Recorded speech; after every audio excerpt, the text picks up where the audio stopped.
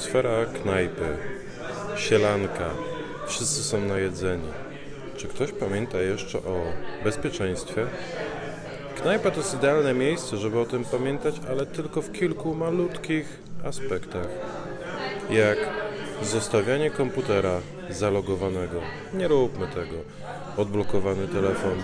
Hmm, też nie. Czasami warto rzucić okiem, czy ktoś go nam nie ukradł. No, różne rzeczy mamy w telefonie. A jak był zablokowany, no to trudno, straciliśmy telefon, raczej się nikt nie dostanie do informacji. No chyba, że na komputerze mam naklejoną żółtą kartkę z hasłem. I co wtedy? Jak łatwo będzie komuś wejść do środka i zobaczyć, co tam jest? Ale nie idźmy w paranoję. Nie zostawiajmy sprzętu otwartego, a w knajpie zajmiemy się jedzeniem. Cześć.